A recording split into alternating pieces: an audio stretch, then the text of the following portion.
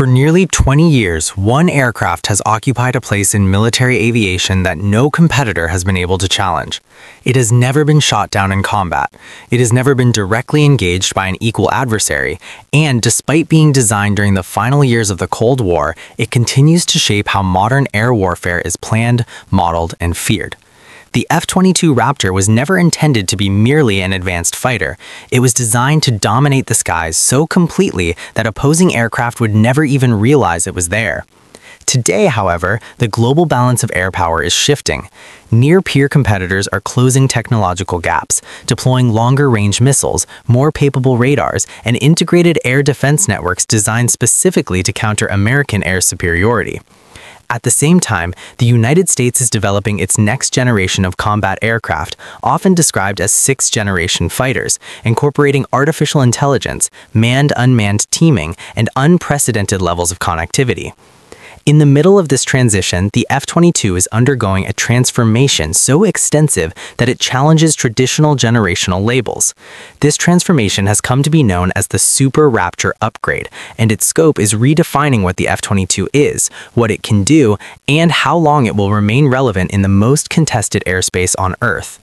When the F-22 entered service in 2005, it represented a clean break from previous fighter design philosophies. It was the first aircraft to fully integrate stealth, supercruise, advanced sensor fusion, and extreme maneuverability into a single operational platform. Earlier stealth aircraft sacrificed speed and agility. Earlier high-performance fighters sacrificed survivability. The Raptor combined both. Its radar cross-section was minimized through precise shaping and specialized materials. Its Pratt & Whitney F119 engines allowed it to cruise at supersonic speeds without afterburners, giving it greater range, faster response times, and a reduced infrared signature. Its flight control system enabled super maneuverability at high angles of attack, allowing it to dominate close-in engagements if necessary.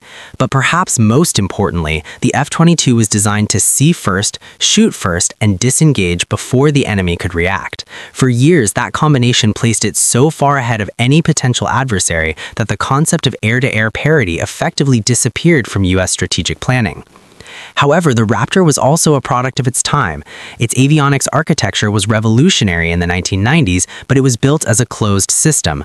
Upgrades required extensive reprogramming, testing, and certification.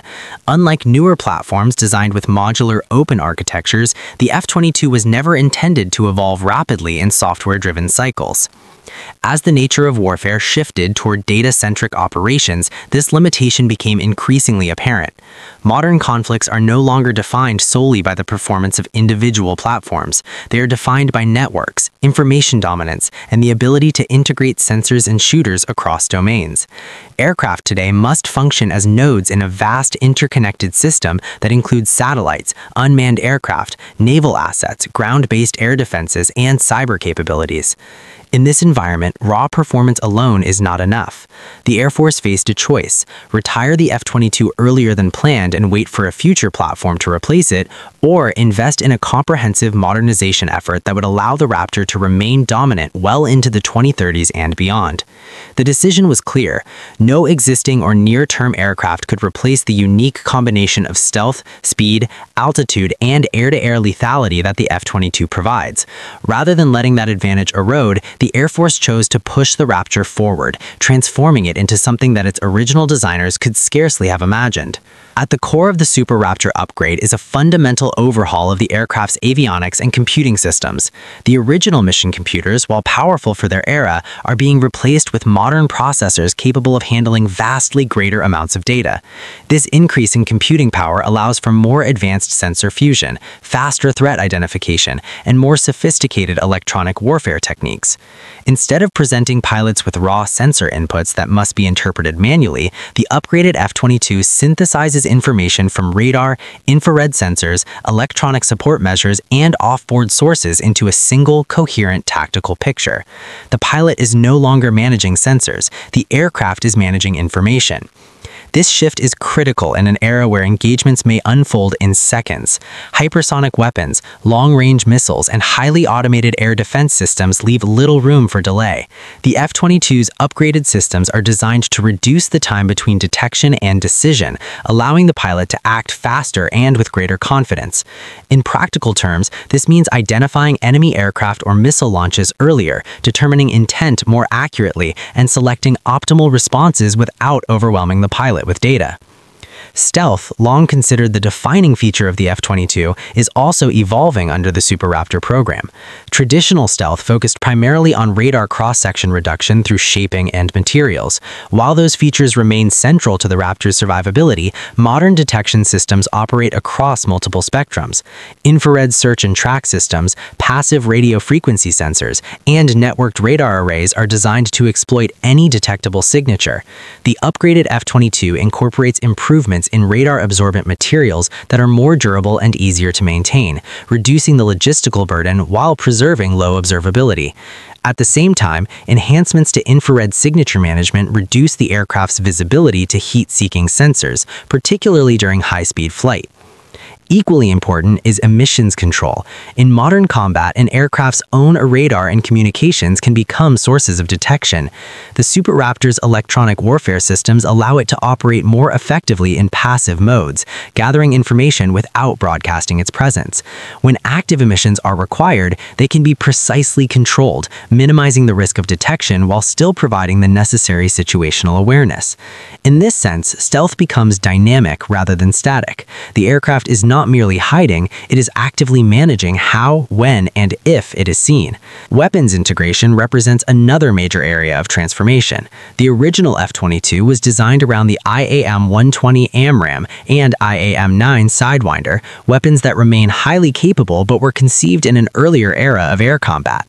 Today's threat environment demands longer engagement ranges, greater resistance to electronic countermeasures, and improved performance against highly maneuverable targets.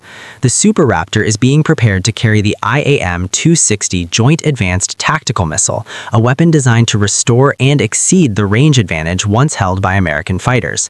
This missile allows the F-22 to engage enemy aircraft at distances that challenge their ability to respond effectively, reinforcing the see first, shoot first doctrine that is defined the Raptors since its inception. Crucially, these weapons are carried internally, preserving the aircraft's stealth profile. This internal carriage, combined with improved weapons management systems, allows for faster targeting and engagement cycles. In practical terms, the Super Raptor can identify a threat, assign a weapon, and execute an engagement with minimal delay, often before the adversary is aware that it has been targeted. In high-end conflict scenarios, this capability is not merely advantageous, it is decisive. Perhaps most profound change, however, lies in connectivity. For much of its service life, the F-22 operated largely in isolation from other platforms due to incompatible data links. While secure and effective within its own ecosystem, this limited its ability to share information with other aircraft and forces in real time. The Super Raptor addresses this limitation directly. Modernized data links allow the F-22 to exchange information seamlessly with F-35s, airborne air awareness aircraft, unmanned systems, and command and control nodes across the battle space. In this environment, the F-22 does more than fight. It senses, coordinates, and directs. Operating deep inside contested airspace, it can gather intelligence on enemy movements, radar emissions, and force dispositions, then relay that information to other assets without revealing its own position. It can cue long-range weapons launched from ships or ground-based platforms, effectively extending its influence far beyond its immediate vicinity. In future scenarios, it may even coordinate unmanned aircraft, directing them to perform reconnaissance, electronic attack, or strike missions while remaining safely outside the most dangerous threat envelopes. This concept of manned-unmanned teaming is often cited as a hallmark of sixth-generation aircraft, yet the Super Raptor is already moving in that direction. While it may not possess all the autonomous capabilities envisioned for future platforms, its ability to integrate with and command other systems represents a significant step toward that model. In this sense, the F-22 is not being replaced by sixth-generation concepts, it is helping to define them. Despite all these advancements, the Raptor's physical performance remains one of its most enduring advantages. Super Cruise allows it to enter and exit contested areas quickly, reducing exposure time and increasing operational flexibility. High-altitude performance provides greater sensor range and missile effectiveness. Extreme agility ensures that if an engagement does devolve into a close-range fight, the F-22 remains lethal. No current or projected adversary aircraft combines these attributes at the same level. While some platforms may excel in specific areas, none match the overall balance of stealth, speed, maneuverability, and situational awareness. The question then is whether these upgrades truly blur the line between 5th and 6th generation fighters. Traditionally, generational labels have been defined by specific technological milestones. 5th generation aircraft introduced stealth as a central design feature and integrated sensor fusion. 6th generation concepts emphasize artificial intelligence, advanced autonomy, and deep integration with unmanned systems. The upgraded Super Raptor doesn't fully meet every criterion of a 6th generation platform. It remains a piloted aircraft with a legacy airframe. Yet in operational terms, it performs many of the same functions envisioned for future systems. It manages information, orchestrates networks, and shapes the battle space in ways that extend far beyond traditional air-to-air -air combat. From a strategic perspective, this transformation has significant implications.